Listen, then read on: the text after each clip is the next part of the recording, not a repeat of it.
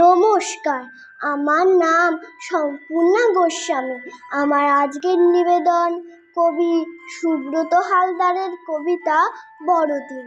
এসেছিলে তুমি বেথেলহেমে সেদিন তারাকে নিশানা করে ভূমিষ্ঠ হয়ে ছড়ালে যে জ্যোতি, অতি সাধারণ নয় যা দুটি তোমাকে চিনতে করেনি ভুল, যাজক গুরু রথি মহারথী।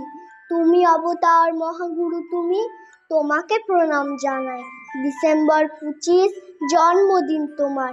মেতে ওঠে সারা পৃথিবী। স্মরণ করি ওই শুভ দিন। রাজা, প্রজা, সাধু, আমরা লেখক, কবি।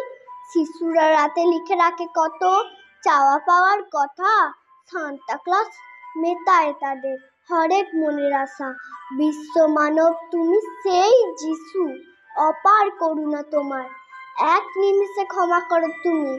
পাপি তাপি দুষ্ট চামার, মানুষের মাঝে এসেছে যেদিন নাম তার বড়দিন।